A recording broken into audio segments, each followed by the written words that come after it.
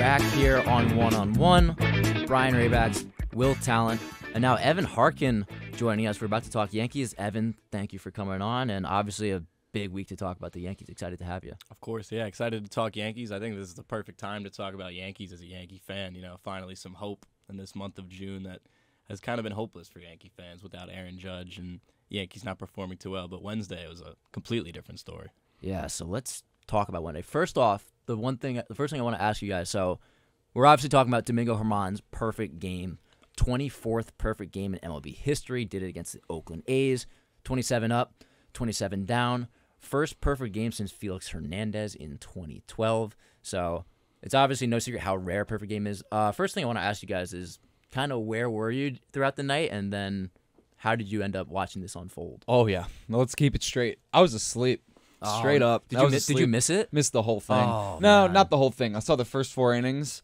Uh, Tuesday was just so frustrating, uh, and I had to get up really early on Thursday. So I watched the first four innings. Stanton hit that home run. Uh, Domingo looked good. So I said to myself, I was like, "All right, Stanton just hit a home run. They have a lead, and if Domingo can give us, you know, two more solid innings, we'll be all right. And I wake up to like 93 text messages and a bunch of notifications, and it's just like Domingo German throws a perfect game, and I was like, wow, I slept through that one. But that's how perfect games are. If I didn't sleep through that one, wouldn't have happened because the stars got to be aligned. I had to go to bed. So wherever you guys were at, it had to happen. Otherwise, that it just wouldn't. It wouldn't have. Evan, don't tell me you were asleep too. Were you watching it? Exact opposite for me. I There was we go. awake, Wasn't gonna watch the Yankees A's game with uh, Domingo German pitching. Wasn't set on watching that, and then got the text in the fourth inning to turn on the game. So I was up with my dad. We turned on the game, and glad I did. Definitely. Yeah, so I was kind of watching the game as I usually do. You know, it started at 9:30 against the Yankees and the A's, so you kind of have it on in the background mostly, but with this one, you saw I saw Domingo was pitching well into about the fourth and the fifth innings. I was like, okay, this is good, and the offense was firing on all cylinders. You mentioned the Stanton home run, and then they, they had that big inning, so it was looking good. And then I kept seeing after the sixth inning that it was still a no hitter. I kept seeing the zero in the hit column for the A's, and I was like, ooh, that's kind of interesting.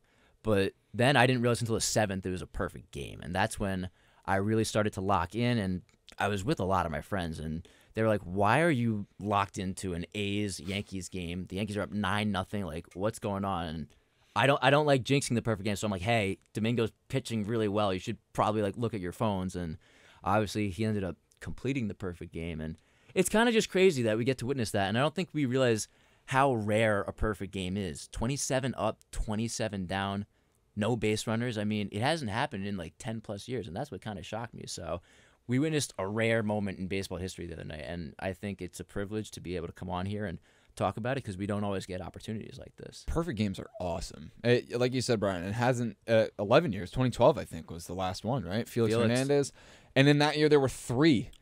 Uh, That was that was unbelievable. I think it was Matt, Matt Cain, Cain? Philip else? Humber.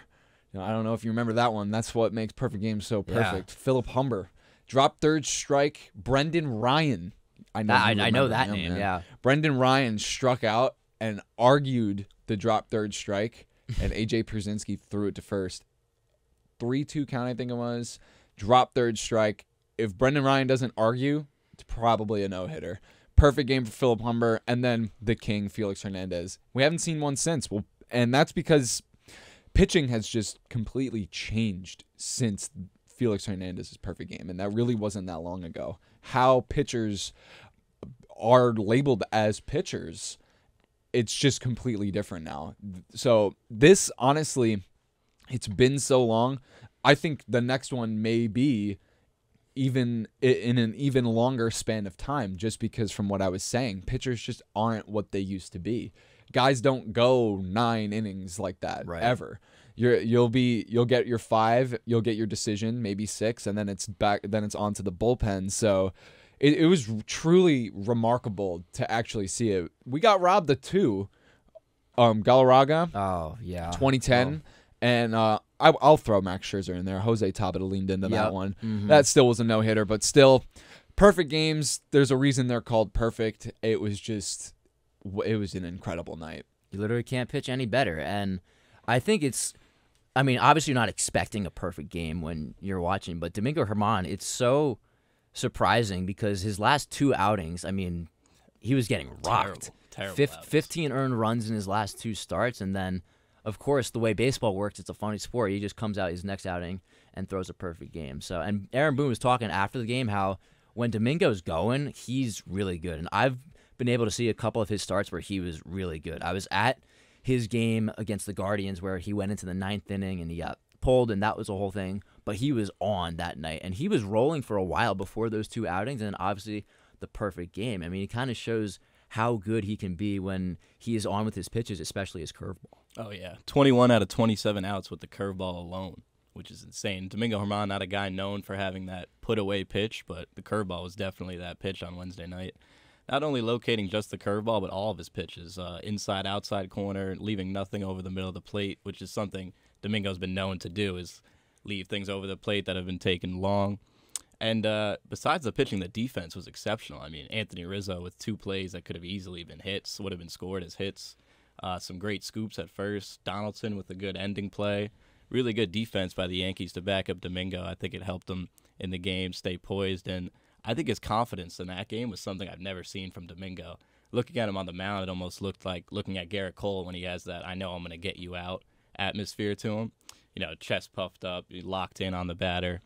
And uh, I think I hope this can really be a turning point for Domingo, and maybe he can take some key takeaways from that game and move it on to his next few starts. Boone was saying that his fastball and other pitches were great, and then it made his curveball that much better. And the A's just had no match for it, and just really fun watching a perfect game and just being able to watch a moment in baseball history. And could it serve as a turning turning point for the Yankees team? I mean, we know they haven't played great in the month of June, but two big wins, some big moments, and maybe the Yankees are finding it here, maybe without Aaron Judge. that's what a lot of people want to think and what they're going to say right now. They definitely, you know, it, it looked like it looks that way. 11 runs in that perfect game and then 10 the next day. Didn't play yesterday, doubleheader today.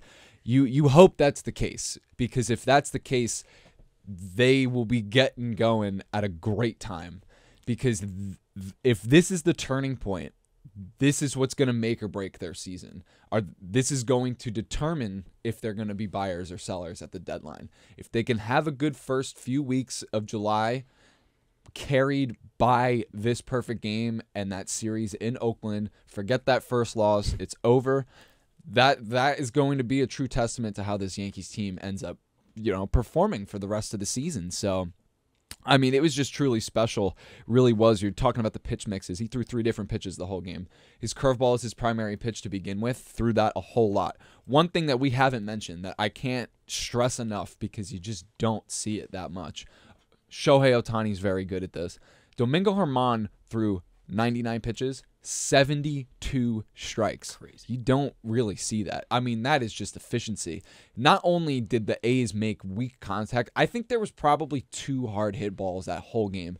Esteury Ruiz had a line drive to, I think IKF was playing center, or was it Bader? It was Bader. Bader. Bader was playing center that day. Okay, so absolute screamer to Bader in the first inning, out. And then you have what you always have in every perfect game. I can name you a few. That play was the Anthony Rizzo diving stop at first. You know, Gregor Blanco for Matt Cain's perfect game. Um, what was his name? Dewayne Wise robbing the home run The, for the for Buehrle Mark one? Buehrle. yeah. every perfect game has its play.